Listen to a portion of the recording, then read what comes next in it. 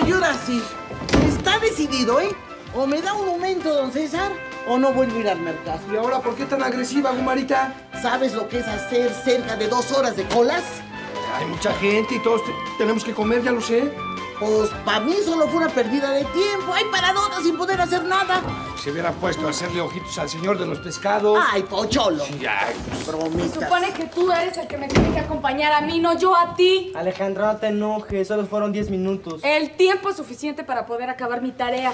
Diez minutos más temprano. Me estaban pasando la dirección de una fiesta, hombre, ¿qué tanto me Mira, el pretexto es lo de menos, ¿eh? Me hiciste perder el tiempo, Ay, ¿Cuánto me Cesarín. tardé? ¿10 minutos? Ay, sí, pues eso. Ay, como si no Hola, Miguel. ¿Qué pasó? Qué carita, hermano.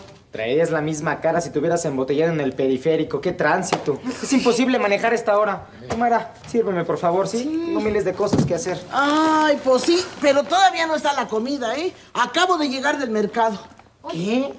Si, si ya son las 2 de la tarde, Gumara. Pues había muchísima gente. Ay, no es cierto. Yo con la prisa que tengo. Aunque seas una torta. Sí, ya aunque sea. Sí, por favor, no, ya, ya, sí, Oye, vamos aquí dos horas. Oye, César, no mismo, Más ¿verdad? Hola. Oye, papá, es que no Oye, sabes papá, todo lo que espérate me una cosa. Llegamos a la ver, a ver, a ver, a ver, a ver, calma, no, calma, calma. Uno a la vez. Quisiera entenderles a todos juntos, pero no me es posible. Papá, tengo que irme rápido y todavía no hay comida.